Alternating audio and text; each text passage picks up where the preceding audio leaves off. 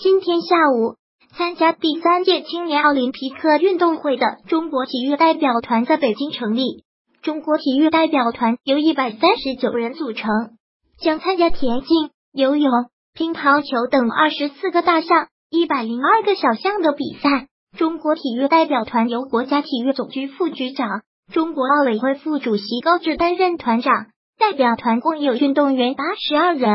来自二十五个省区。是和汉、藏、苗三个民族，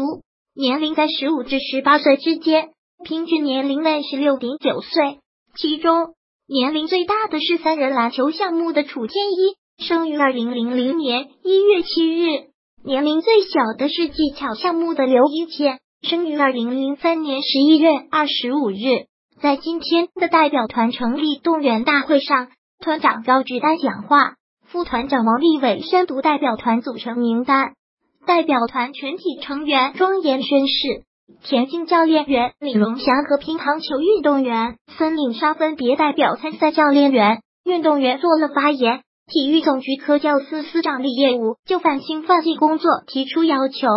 青奥会是国际奥委会为了增进青少年运动员对奥林匹克精神与价值的理解与认同。更广泛的推动奥林匹克运动的普及与发展，增进世界范围内不同国家和地区、不同民族和种族的青少年运动员之间的相互了解。在二零零七年发起创立的，通过体育运动为载体，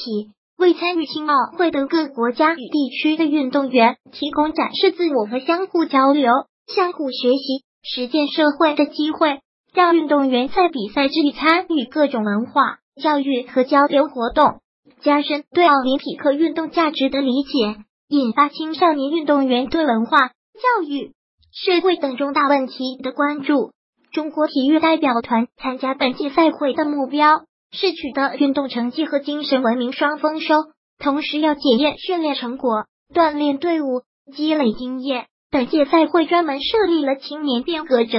参赛运动员还将通过学习与分享活动。参加各项体育文化交流活动。来源：北京晚报记者李远飞，摄影刘平编辑。T F 零幺幺。